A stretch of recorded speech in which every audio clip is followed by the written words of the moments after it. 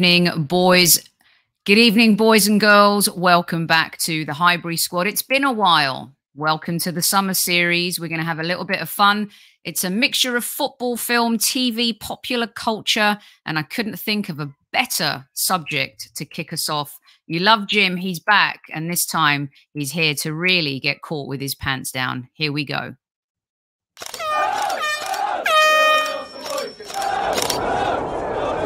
Mind the gap between the train and the platform. Please stand clear of the discussion doors. The next stop is Highbury Squad.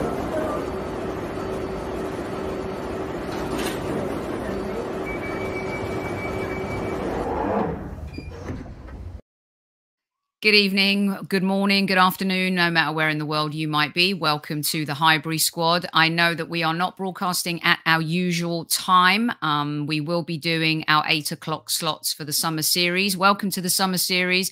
It's a little bit of fun that I enjoy as well as talking about football. As you know, I'm very passionate about entertainment, it's my background, and we've got some great guests coming up to mix it all up for us. And I couldn't think of a better person to kick off the summer series than lifelong Crystal Palace fan, writer, actor, producer, and someone who's probably got one of the best memoirs out there right now, Mr. Jim Piddock. Welcome back to the Highbury Squad. How are you, Sophie? Nice to see you. Nice to see you too. Um, you've been one very busy man uh, promoting your um, your memoir, and I have been telling our listeners that they have to have a read. I mean, it's got so many great anecdotes and and stories. Um, and you've got some phenomenal. I wanted to start off by sharing with them as well uh, some of the fun things people are saying about it before we kind of dive into some specifics. This from Seth Meyers. Jim has a big heart and a sharp wit, and both are on display in the pages of this book. So effing read it very classy. I love that. This one's my favorite, actually. And I've become a huge fan of Russell Brand um, for other reasons. I love his YouTube channel and yeah. and the stuff he's doing on there. Uh, Jim has done that rare thing that perhaps only Michael Caine and David Niven have done before conjured a funny, inclusive, whimsical, and magical tale. Um, love that from Russell Brand. And Elizabeth McGovern, who I had a bit of a crush on. I'm not going to lie. When I was younger, uh, when I wasn't gasping or laughing my head off, I was wondering why my life is so boring compared to Jim Piddock's. I thought the same thing, Elizabeth. And this one from Hugh Bonneville, love Hugh, hilarious, passionate, beautifully told, and memor- memorably waspish, which is quintessential Hugh. I think um, yeah. you could just picture him saying that. So, Jim, how does a lad from Rochester you know, become passionate about football. There's a one man show about a goalkeeper, I believe, and you can correct me if I'm wrong, and then find himself in the United States with literally a hundred bucks in his pocket. Well, uh, it was one of those weird kind of confluences of events.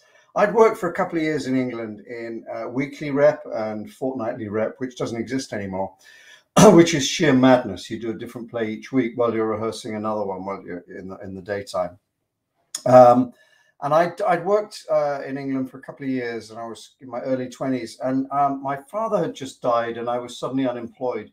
And I kind of was fairly depressed. And um, I remember sort of sitting in a, a bed sit, uh, it was in an attic uh, room I had, a tiny, tiny room with a black and white TV, uh, watching the 1980 Academy Awards, feeling very sorry for myself. And Dustin Hoffman gave this lovely speech about how he was accepting the award on behalf. He got it for Tootsie, um, uh, I think. No, it was Kramer versus Kramer, saying he, he was accepting the award on all struggling actors out there because this represents you as much as anyone, and blah blah blah. And I was, of course, by the end of the speech, a, a self-pitying, sobbing mess. It was an ugly sight. Um, and soon after that, I I, um, I thought I wanted to get away somehow, and, and my drama school, uh, the drama studio in London, had opened up a branch in Berkeley, and so I very cheekily went to their principal and um, said, you know, would it be okay if I directed something there? I directed a couple of plays in Rep while I'd, I'd done Rep, and, and he said, well, direct something here first, and we'll see. And um, I, I, did something, and he fortunately offered me a job there for three months And, and I went out there just to escape for three months. And I thought, uh, I'll just take a break and, and get a different perspective on things. And I fell in love with California immediately. I mean, I just thought it was just this wonderful, open, new, beautiful place, um, sunny and and um, the opposite just, of England. yeah, it just felt like there was possible, endless possibilities, and and um, not so rigid a society. And I had in my back pocket when I was doing this, just directing for three months uh, and teaching a couple of classes at the school. I had this one man show that I'd seen in London about a, a football goalie or soccer goalie playing a game, and, and I'd loved it. And I thought I'd love to try and do it somewhere. And, and I asked the writer, Peter Flannery, who was, who was quite well known at that time and still is, uh, if I could do it in America. And, and, he said, sure, if you can find anyone crazy enough to put it on, you know, you can do it. And, and I took it around every theater in San Francisco. And of course, you know, it was in 1980. Uh, no one was interested, 1981 at that point, no one was interested in football at, at that point. And um, I was an unknown actor uh, with a very British play about football. So they all turned me down quite rightly. And um, I was about to come back and I got a call from the artistic director of one of the theaters, a small 99 seat theater in San Francisco. And he said, Our first play has fallen out of the season. Can you get the show up in, in, in three, four weeks? And I said, Of course I can. And I canceled my flight. And I hired a great director called Richard Side, a Brit I've met out there. And we got the show up. And I had a full night of 99 people on the first night because all the people I was directing at the drama school wanted to see me fall flat on my face and fail. and um, the second night, I had four people in the audience. It was a it was an intimate experience, and um, they were lovely. They all sat at the front, and, um, and I did the show, which was incredibly energetic. It's an hour and a half, two 45 minute halves of non-stop action, talking, moving, diving, uh, shouting this, that, the other. And then I have a nervous breakdown in the course of the, the, the play.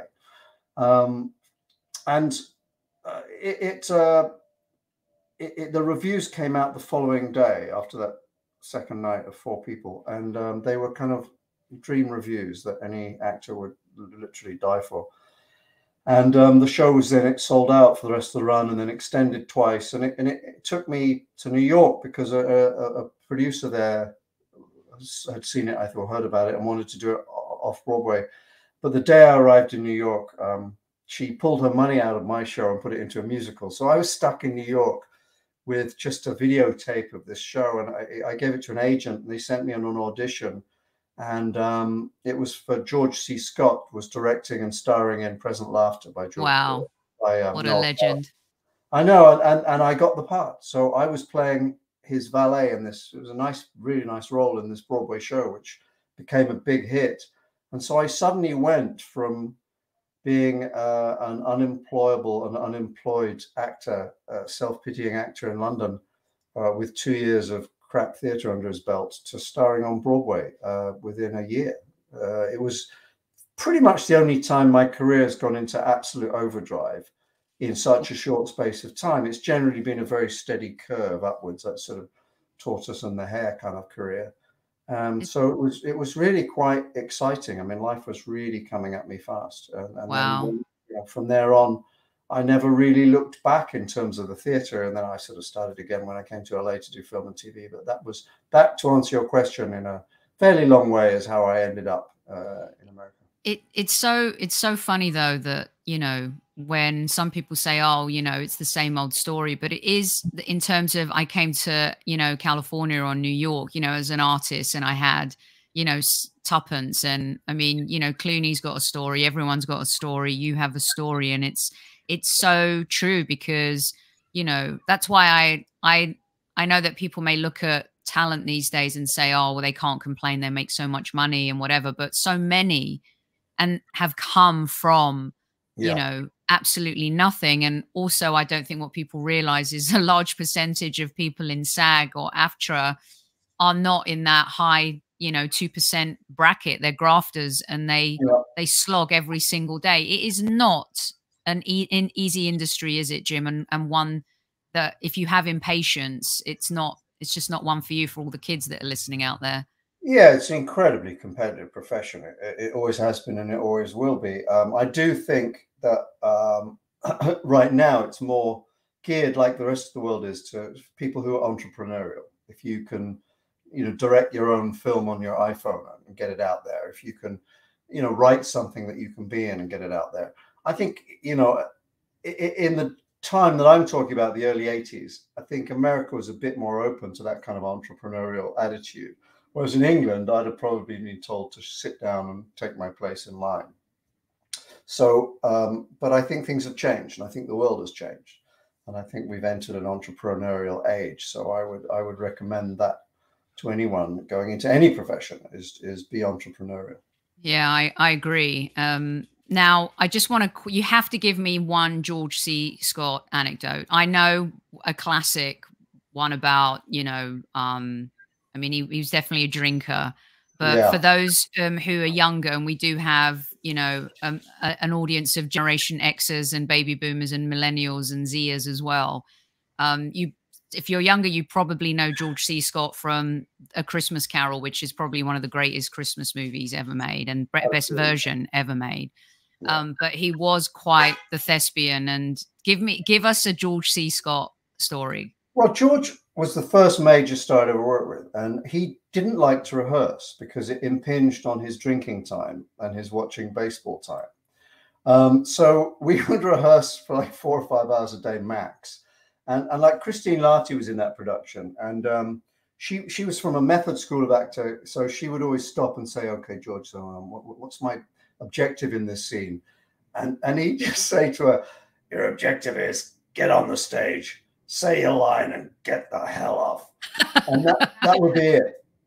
And then I remember the last the last night we had a uh, we closed the show on a matinee, a Sunday afternoon, but the last evening performance was a sun, Saturday night. And we had the Sunday matinee the next day. And we went out to Gallagher's Steakhouse in New York, and George bought everyone dinner.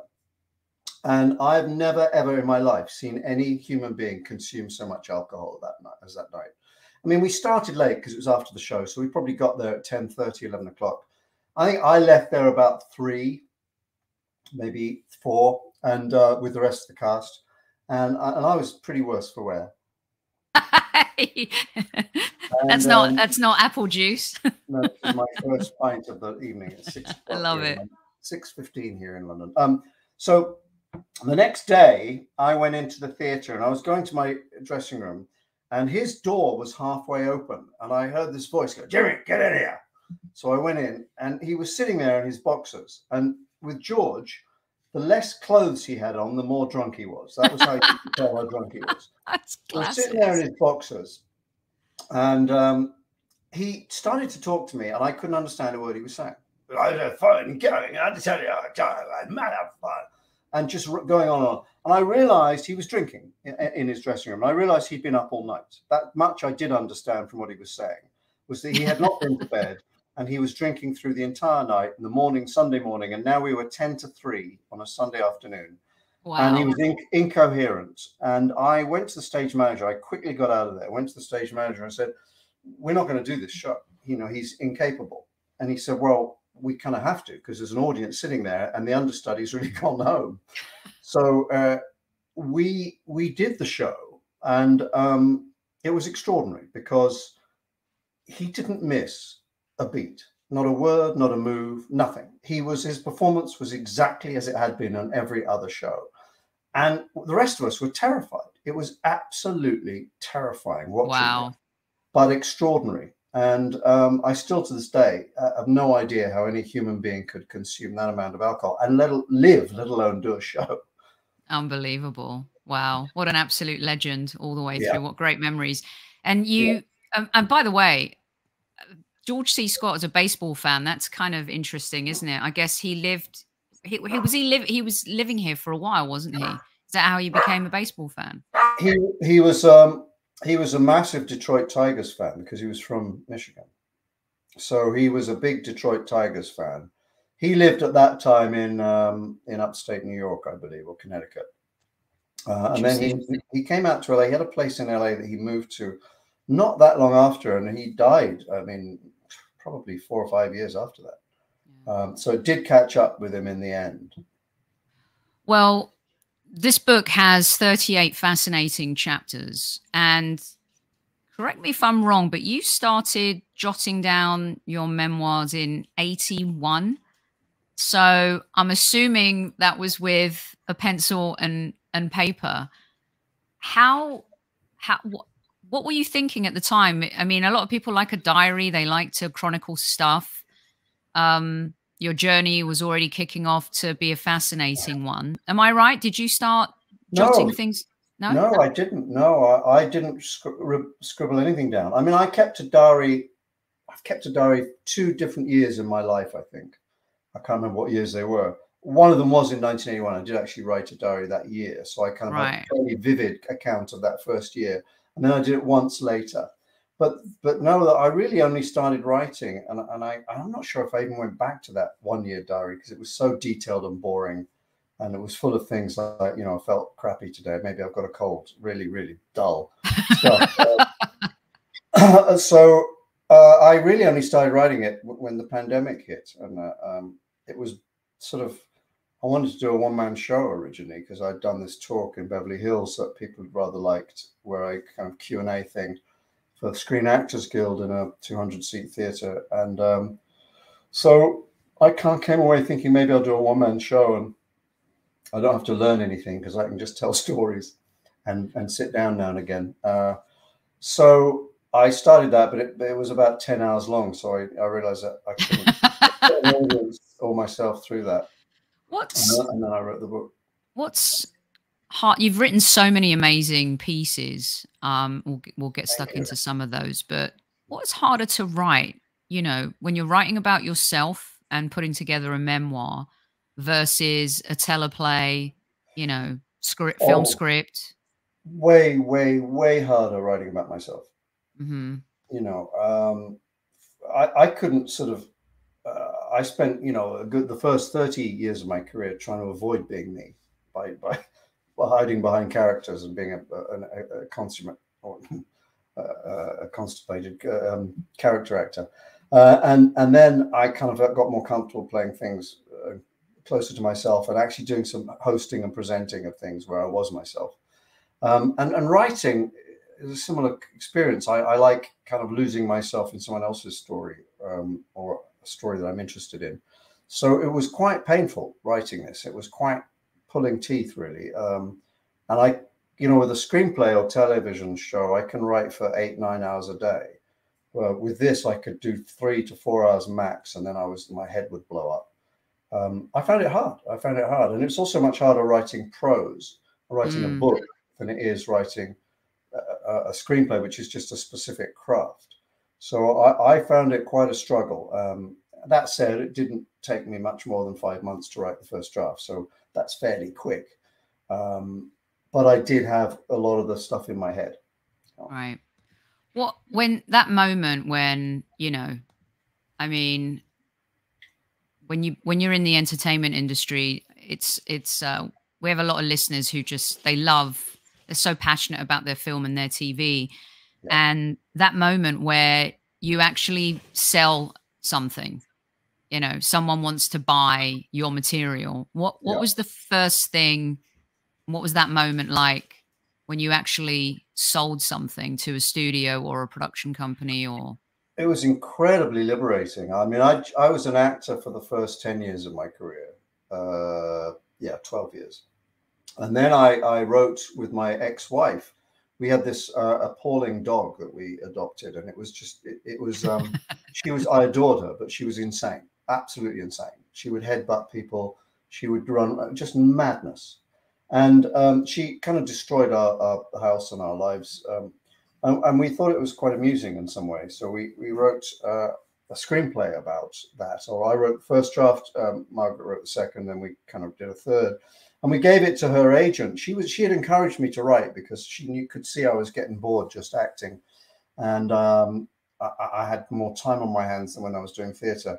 So I wrote that, and and, and then she wrote, wrote it, and we did everything, and we sold it um, for quite a lot of money. And um, suddenly I had this um, huge uh, amount of money in my bank account, which I'd never had before in my life, and um, and I had a whole new career. It was it was like opening a fantastic door, and I was suddenly like, oh, this is amazing. Now I've got something to do, and I'm not not acting, and it fulfills a totally different part of my brain, a different creative uh, thing. Mm.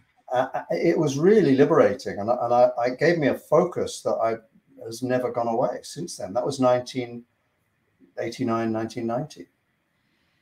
Well, for me, I love a lot of the stuff that you do, as you know. I mean, we talk about football a lot, and you know, um, when you were on last, uh, you know, we we talked about Ian Wright and Brighty and and shared some of of your pictures from your your football days, and of course here you are with Eddie Izzard, which is a, yeah. this is a a classic picture of the cup you. Final, the cup final with a lot of my very good friends right behind.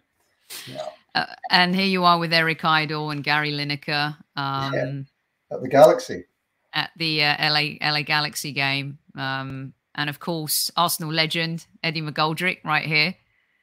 Uh, and um, you know, you you you so you're such a champion for a lot of people, but there's also been someone I think who's been influential in your life when it comes to entertainment. And we'll get to Fred in just a minute, but Christopher and his way of working and how much of an influence did he have on on you, Jim? Christopher Guest movies are absolutely genius, in my opinion. The improvisation yeah. part of it was that really the catalyst.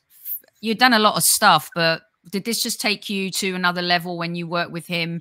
My go-to movie when I'm sick, when I'm depressed, when I'm feeling blue is Best in Show. It is the greatest. It's in my top 10 movies of all time. It's genius. It's, in a lot of people's top 10, which is great. Um, that was my first film with Chris.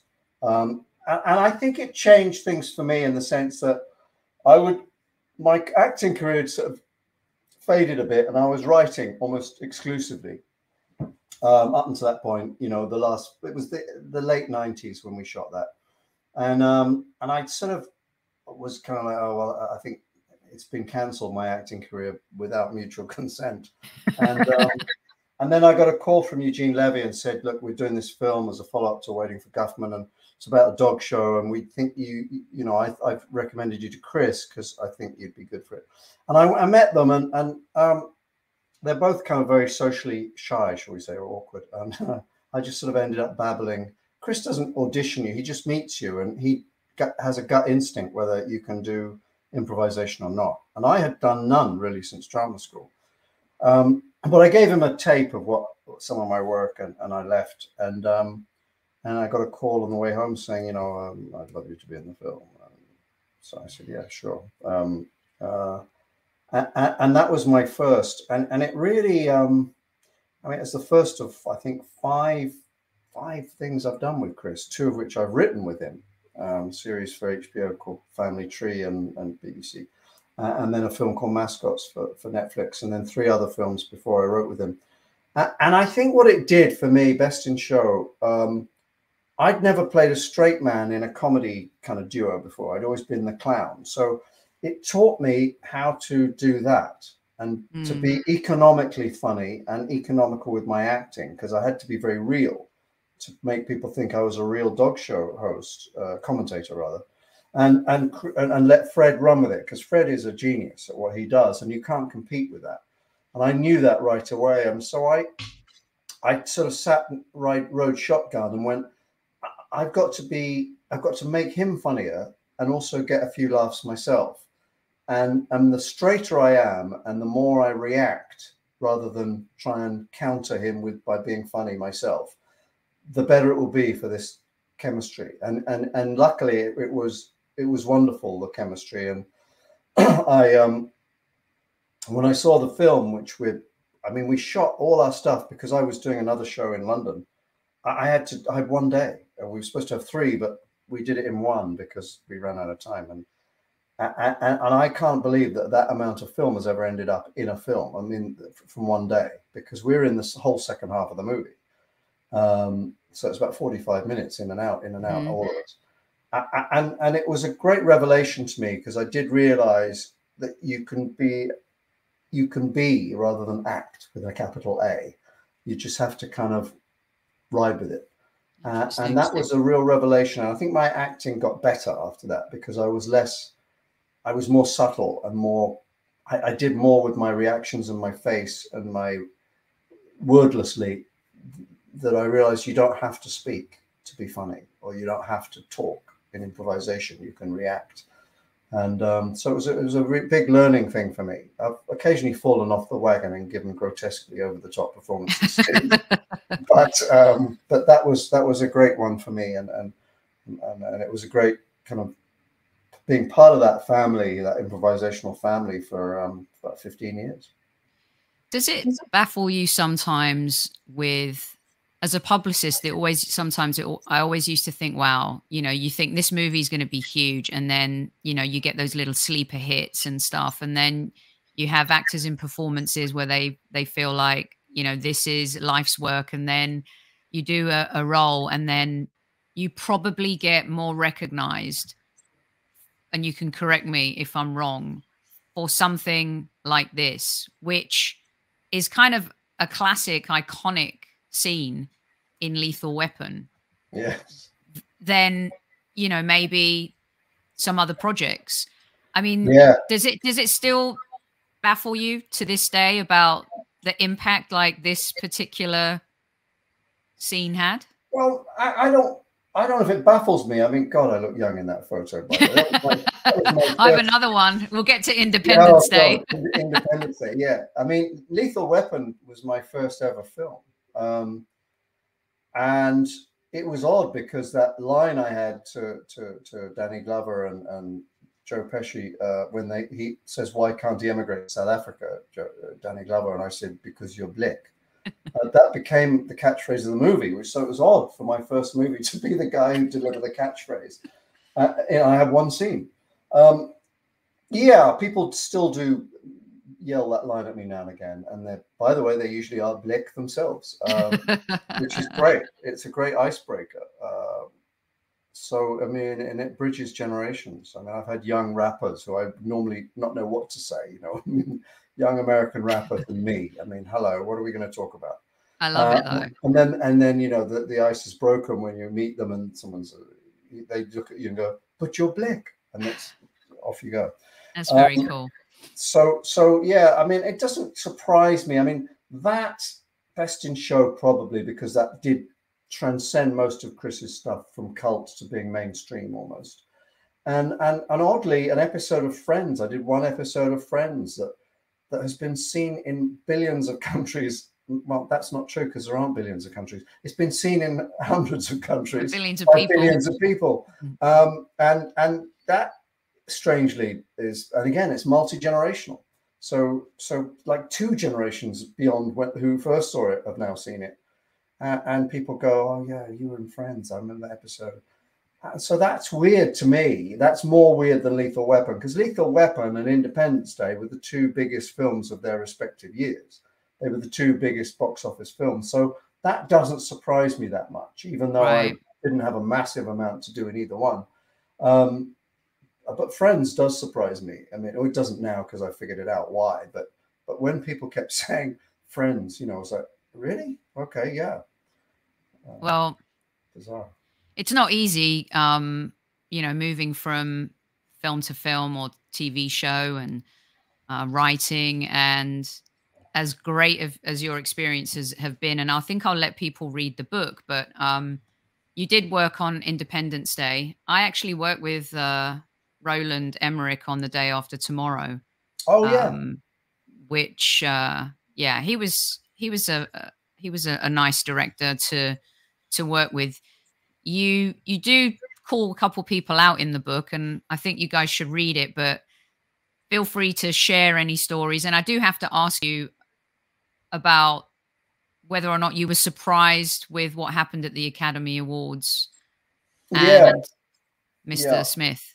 Well, first of all, I should say that one of the people I, I do give it to in the book, and by the way, it's mostly a very positive book, and I, I have good things to say about mm. people, and some people who have bad reputations, and I say I didn't experience that at all. Um, Roland Emmerich was definitely not one of them. I loved him. He was just like an enthusiastic, mad German teacher who was bouncing around with enthusiasm and energy. Yeah.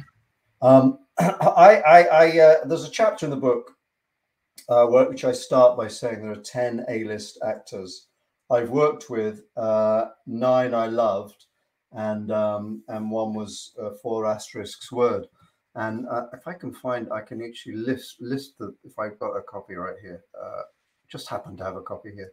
Um, the ten are Michael Caine, Angela Lansbury, Anthony Hopkins, Sharon Stone, Tom Hanks, Morgan Fairchild, Sacha Baron Cohen, Naomi Campbell, Kevin Hart, and Faye Dunaway. So, of those, nine I really liked, and one was a four asterisk word, and you can pick whatever word you like for that. And I'll see you next Tuesday. Um, and that chapter has obviously got quite a lot of attention because I do name names, and um, that's unusual in these type of biographies uh, or memoirs. Uh, and the person who ends up being, and I'm not going to give that away because that is a spoiler alert. Yeah. Um, really did deserve to get it with both barrels. Um, there was, I think, three people I really, really stick it to in the book. Um, and as I say, there are some people in that list who people would say, well, it's got to be them because they, they have a terrible reputation. And I rehabilitate their reputation by saying how great they were. So I do feel this book is ultimately extremely positive, and and it's a it's a romp through four decades in Hollywood, not a not a hatchet job. Although I definitely pull the hammer when I need to, and and absolutely I don't just eviscerate people; I urinate on their corpse afterwards. um, and one of one of them's dead, so they can't sue me. Um, one of them remains a mystery, but I'll tell you the other because people are, won't be that surprised by it when I first got to Hollywood, I auditioned for a show called Seinfeld, which was a huge, huge show at the time. And uh, I, I, went in for this role, which is supposed to be British, and I was in my early 30s, and they did, clearly didn't know what they want because there was actors all ages. There was a, a British actor in his 60s, and I went into the room, and there was Larry David, the show's creator, at his desk. It was in his office. Uh, Jerry Seinfeld was there, and some producers, and the casting director. I, as I started the scene, reading with the casting director, um, Larry David put his feet up on the desk, opened a newspaper, and was completely obscured from my view. And I was obscured from his view. And he remained that way for the entire audition. Now, it threw me big time. However, being a consummate professional, I soldiered on, thanks mostly to Jerry Seinfeld and some of the others laughing at what I was doing, and got to the end and bolted out of there. I was really fuming as I went, left the studio, went to my car. And then the older actor who was in the waiting room came out, the guy in his 60s, and he was bright red in the face and clearly upset, visibly upset. And I sort of said, Are you okay? And he said, told me the exact same thing had happened to him. Now, I can only conclude that Larry David, who people love in in um, uh, what's that show? His, Curb Your Enthusiasm which is a you know it's very good and he's extraordinarily talented. I can't watch it because of my experience with him, but he's either I concluded he had to be either the biggest asshole on the planet, solution A, or solution B, the biggest asshole on the planet. uh, and I have not changed my mind since. Yeah, fair enough. he's one of the people I, I give it to both barrels. Yeah, fair enough. Um, okay, so a, a, a, good experience you had before. I've got I've got some uh, need to find out some favorites of yours, but there's a yeah. couple of things I do want to touch on. Um, comedians that I've worked with aren't necessary. You're you you're very unique in terms of my experience. Uh, I looked after Robin Williams for a bit and uh, on a couple of films, and I found him to be a very sad person and of course you know that we we all know about his struggles and just some other comedians that are a little darker in real life right. than or maybe you know then not as outgoing perhaps. Um you seem to have this incredible balance you know um which i find unique in terms of my experiences. Have you found that? I mean when you've what you've worked with some super talented people, and of course people like Eugene Levy and and and Chris Guest and and some others. Uh, also yeah. Kevin Hart, you mentioned. Um, you know, you am I off off base, or no, have you no, found I, that in your career? First of all, thank you for that. But um, I think the big difference is between being a comedian and a comic actor. I'm I'm an actor first and foremost. Um, I actually do probably as much, if not more, drama than comedy these days. Um, but I, I, was always an actor, and that's a different breed than a stand-up comedian. Stand-up comedians are, by and large, manic depressives or bipolar. You know, they they really are go to extremes. I mean, it's an incredibly vulnerable thing to do to stand up and put yourself on on display. Although having said that, I just wrote a book that completely puts myself on display. But um, but most actors, I would say, you know, two thirds of the actors I've ever worked with are introverts, and I'm in that group, believe it or not. And and a third are natural extroverts who just are, are like a, a, a bit. They're not like stand-up comedians. They're just more people are quite happy just showing off. And um, and I don't know why that is. I think you know a lot of people become actors because it's the only way they can be seen and heard if they're that shy or that introverted. And certainly, I would say that's probably the case for me uh, and a lot of actors I know, and, and a lot are very insecure. But I do know some people who are find the right balance. It's hard. I think for me, the sanity structure was having a life outside of it. I wanted to lead a normal life. I never bought into the factory being my whole life, even though LA is a factory town. And, and I think, and I remember a guy at university saying, you know, you're very good at you're uh, acting. If you do that for, for a profession, don't stop playing football because that'll keep you sane. And, and it's true. He went on to be a great sports uh, journalist. Um, and, and, and I think it's true. And I think that, that I've I've played football for 50 something years and I still play on Saturdays or Sundays, uh, some weekends.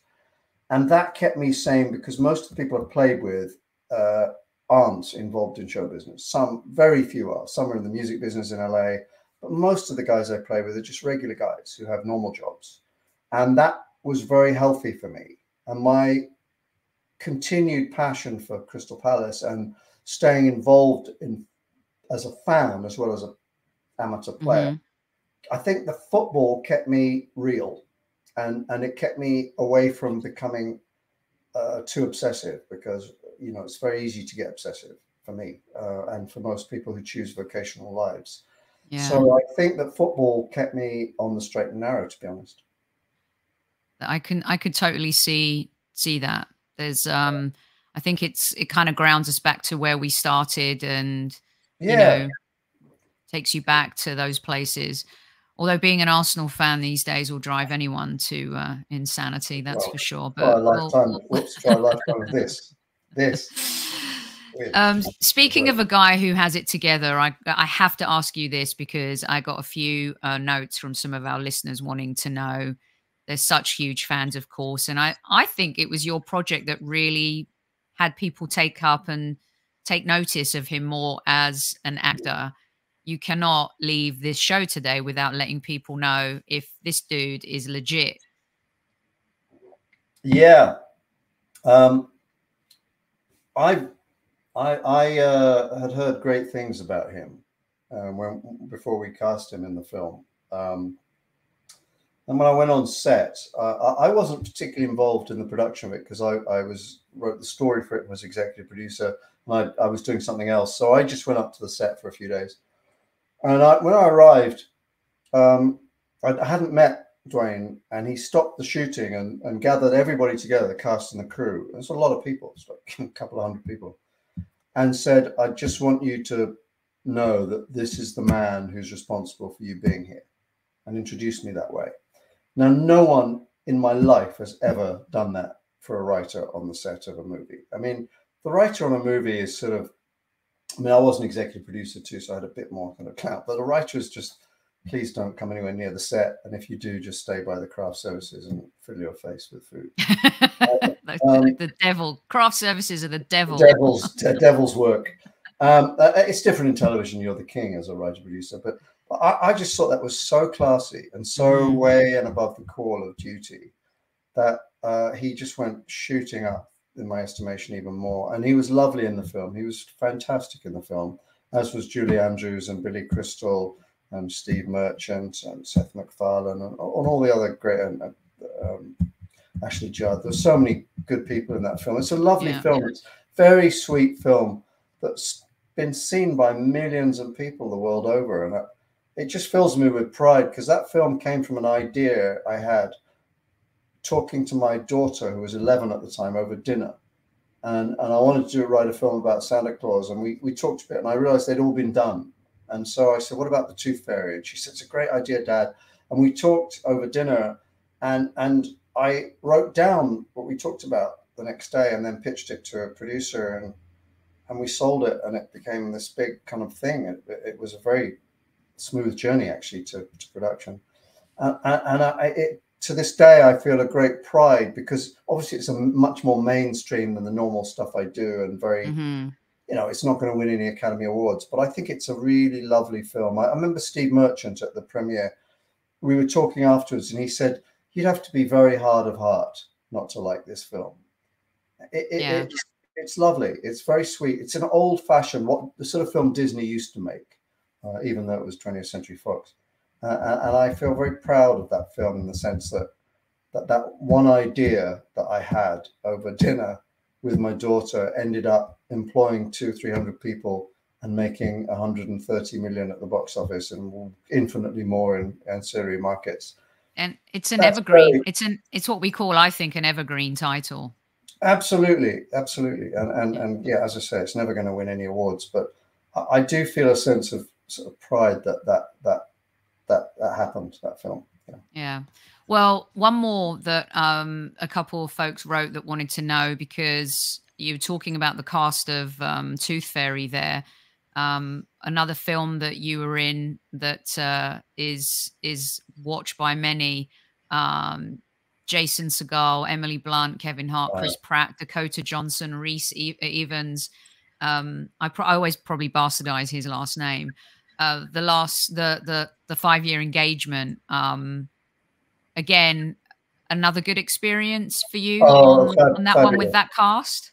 Fabulous. Uh, I I have had many many wonderful actors uh, actresses play my wife or daughter in movies. Many many, but that movie contained probably my favorite two.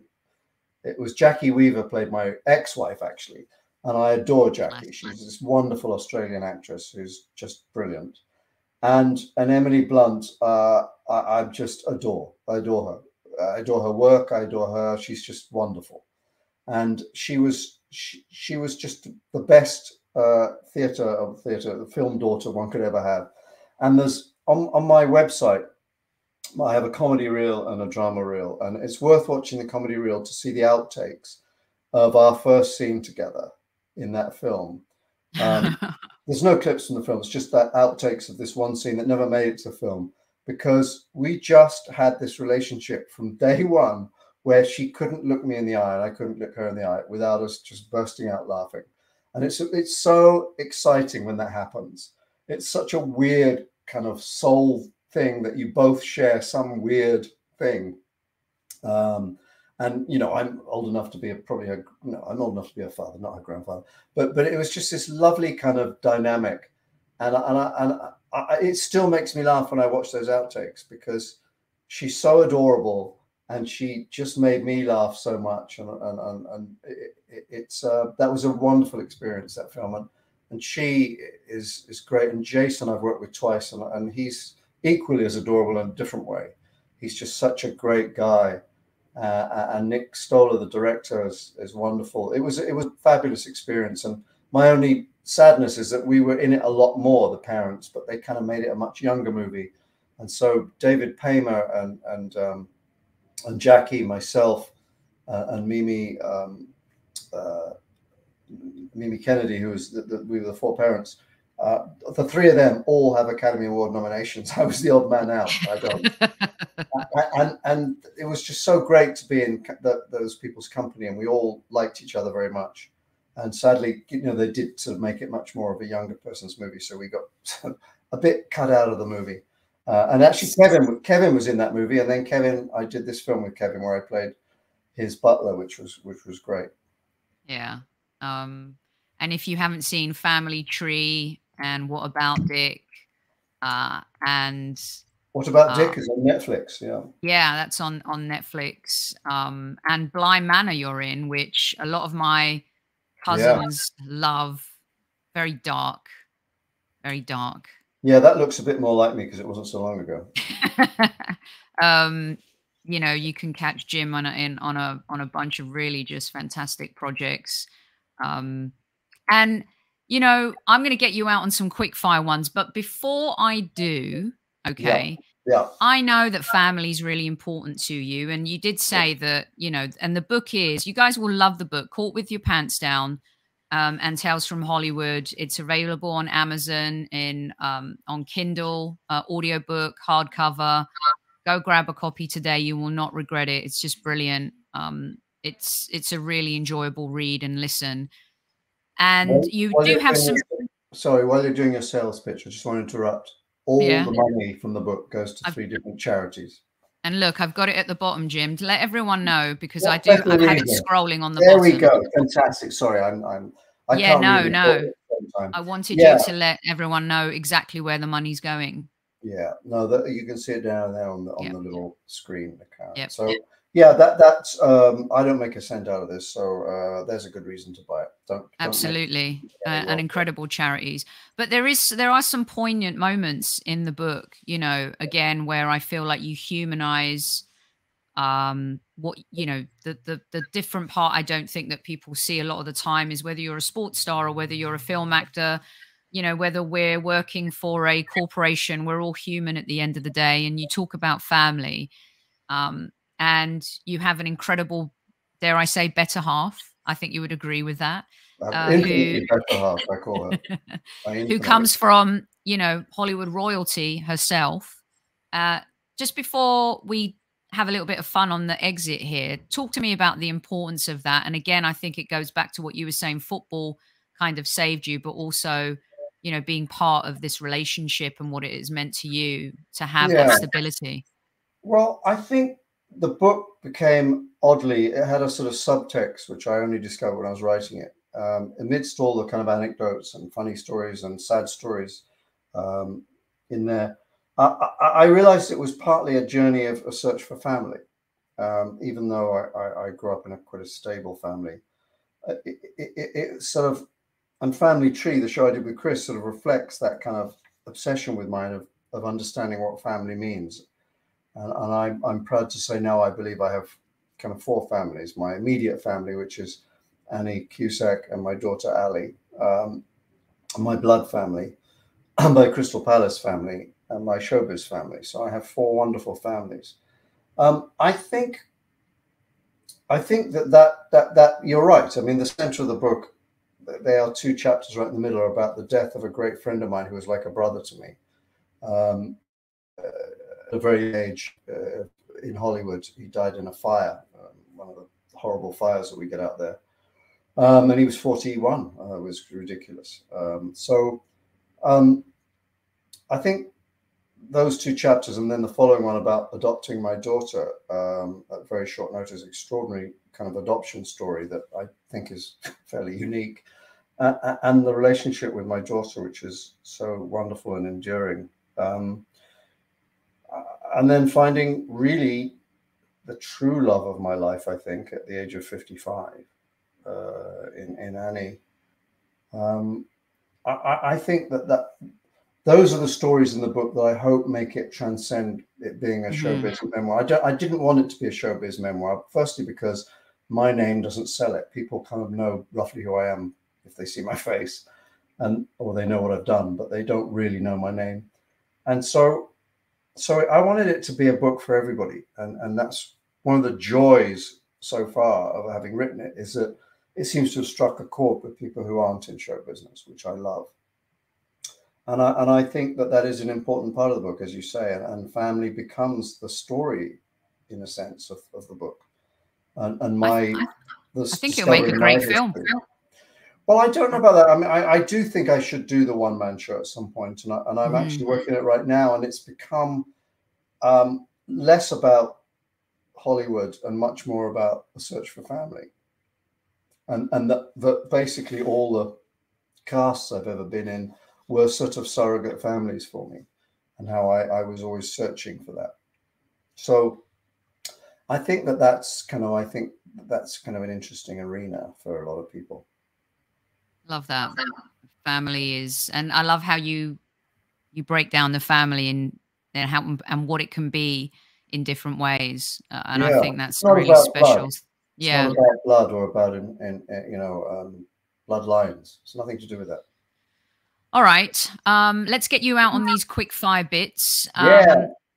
Now, what is your favorite film, Mr. Piddock? Well, whenever people do this to me, I'm always really you hate annoyed. it, don't you? well, I, I, never narrow it down to one. I prevaricate. I sit on the fence, and I'll give you a couple of alternatives. But with the film, I mean, there's so many great films that have been made. But my personal favorite that I've probably watched more than any other film is Withnail and I, um, oh. which is a small. Well, it's not really a cult film anymore because it's become such a widely known cult film. Uh, it's a big favorite among a lot of comedians and comic actors. Steve Martin, I think it's one of his favorite films. And I, it is a film made in the 80s, mid 80s, and I think it's a work of genius. Um, and uh, Withnail and I is the most quotable film imaginable. It's not everybody's cup of tea, but Withnail and I would be my answer to that one. All right. Uh, TV show. Uh, I think one of the greatest shows ever was MASH. I think it's probably the greatest sitcom ever. Um, but that said, I'm going to give you a couple of alternatives, favorites. I think Freaks and Geeks, which was short lived, was one of the greatest series I've ever seen. And a show I was in called Party Down, which in, was created by some of the same people from Freaks and Geeks. Party Down is, I think, genius. And that is coming back. They've revived that. oh, that's fantastic. Because it was just the season, wasn't it? Was it one? And then I think it was two, three, two or three, two seasons, maybe, maybe three. So Freaks and Geeks was one season. But Party Down, I think, did three seasons. Okay. Um, favorite band? Um, the Clash, probably, followed by U2 and Mott, Mott the Hoople, a particular favorite. But but the Clash, I would say, I think for me, covered so many areas. Uh, concert? Bruce Springsteen uh, with The Who followed shortly. Whoa. Yeah. Nice. Favorite city in the world? The two that I live in, Los Angeles and London. Love it. Uh, favorite drink? Are you drinking it right now? no, I like beer, and I have a beer in the summer a lot uh, at this time. Um, red wine is my go-to. Awesome. Your favorite Hollywood scandal? Well, scandal Hollywood scandals aren't what they used to be. I think the no. great, greatest one, and it's not great, it's horrible. It took place in 1921 when Fatty Arbuckle. First of all, any scandal involving an actor comedian called Fatty Arbuckle is amusing. um, there the amusement ends because he was charged in 1921 with the rape and murder of a woman called Virginia Rappe, which is odd considering the subject matter. And it was a party in San Francisco, and this woman that was uh, alleged that he raped her, and and that she died because it's, it's awful, this story. I don't know why I'm telling this. She died because he was so fat, he ruptured her bladder when he was raping her, and she died from peritonitis from the ruptured bladder. And he was charged with murder. And uh, it was a big scandal. It was the biggest scandal probably in Hollywood history. And he was found not guilty, actually. And the jury even offered him an apology because they, the, the, the witness who claimed this was sort of a notorious liar and con woman, and um, he was is- issued an apology. Um, and I'm not going to say whether he's guilty or not, but his career never recovered, and he died at the age of forty something shortly afterwards. Wow! I don't, I don't think they make scandals like that anymore in Hollywood. I mean, Will Smith slapping uh, slapping uh, Chris Rock. Chris, Chris, Chris Rock. Rock is not exactly comparable, you know, to that. That that really, for me, takes the biscuit. Well, my Hugh Grant on Hollywood Boulevard is boring compared to that. That's... No, that's a pretty good one. But what I loved about what that was that Hugh just went straight on to the talk shows and just copped to it. He just copped totally. to it. I love that about him, and I thought it was really brave and really smart. And and he just said, "Okay, have a good laugh at me, and and let's get it out of the way." And he's of course he's recovered from that. Completely recovered from that, like gloriously, and talk about really getting caught with one pants down. That was yeah, uh, yeah. That was that was definitely Hugh. Right. A few football ones to end on. We have to. Uh, yeah, let's see. Yeah. A game you never saw but wish you can transport yourself to. Any this, game, any era, any time, domestic or international. This is easy. I mean, people would say for me, because it was when I fell, fell in love with football, the 1966 World Cup final but I saw it on television, so I was there in some shape. The big one for me is my um, it was took place on my birthday, my 34th birthday in 1990, the 8th of April 1990, when Crystal Palace played in the semi-final of the FA Cup against Liverpool, having lost to Liverpool 9-0 earlier in that season, and we won 4-3 in extra time that has to be, first of all, the greatest Palace game in the history of the club in terms of drama Brilliant. and not its overall importance, but for most people's memory. And I unfortunately couldn't go to that. Uh, and I didn't even see it on television. I woke up because it was at four o'clock in the morning in LA. And I woke up to a message on my answering machine with a, a friend screaming, a Palace fan screaming, we won, we can't fucking believe it, we won, we won. It was insane. and then I've watched that game at two or three times since, at least uh, on DVD. And that was probably Palace's finest moment in terms of really sort of pulling all the stops out and producing the biggest surprise in, in that FA was. history. that was brilliant. Absolutely brilliant. Mine would be the 79 fa cup arsenal man united alan sunderland. Oh really? Yeah. I would love to have been there I begged what, my dad to take me, but. Uh, what about the game at Liverpool when Michael Thomas scored that? There, you know, it's up for grabs now. That, um, that would um, be, if I was an Arsenal fan, that would be for me pretty well up there. Yeah. I mean, it's a legendary night. I feel like I've lived it. You know, I think we all feel like we've lived it. Obviously, being there's a completely different experience. I mean, Kevin was sitting uh, with the away fans uh, in the crowd and listening to his stories from it. was unbelievable. There's something about that FA Cup final, thinking yeah. it was all over, um, and you know, just magic. And both of them, I mean, brilliant. You know, the the the the European run that Kev, that team that Kev played in as well, another another great moment. But okay, Chris, look into your crystal football, Mr. Piddock. Um, we won't talk about whether or not Arsenal's season was a failure or whatever. If we choked, um, none of that.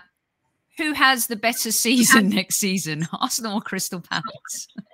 well, I think you'd always favour Arsenal to have a better season. You know, I mean, they're, they're a much bigger club. Um, they got much many more resources.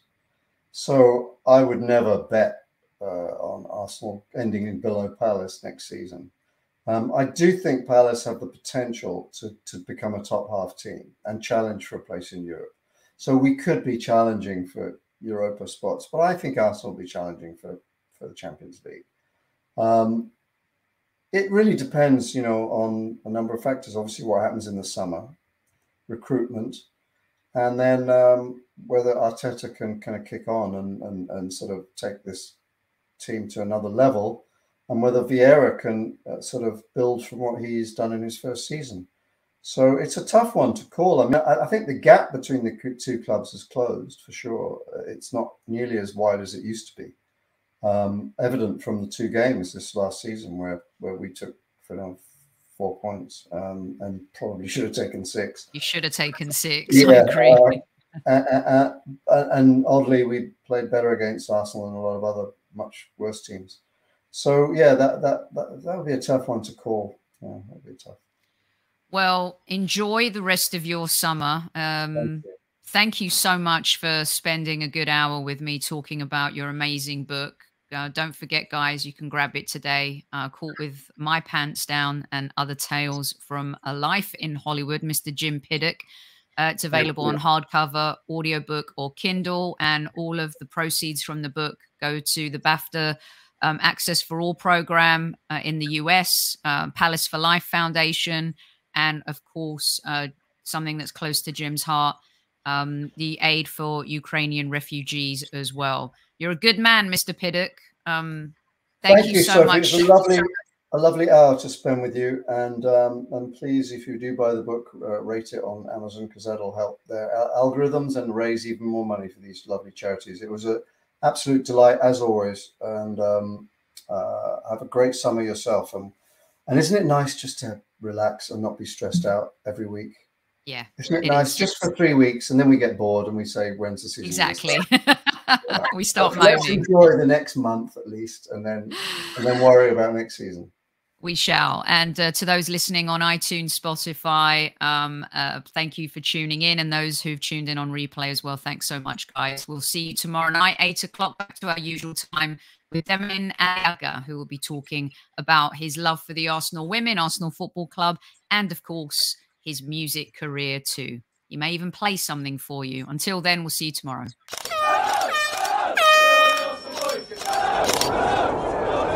Mind the gap between the train and the platform. Please stand clear of the discussion doors. The next stop is Highbury Squad.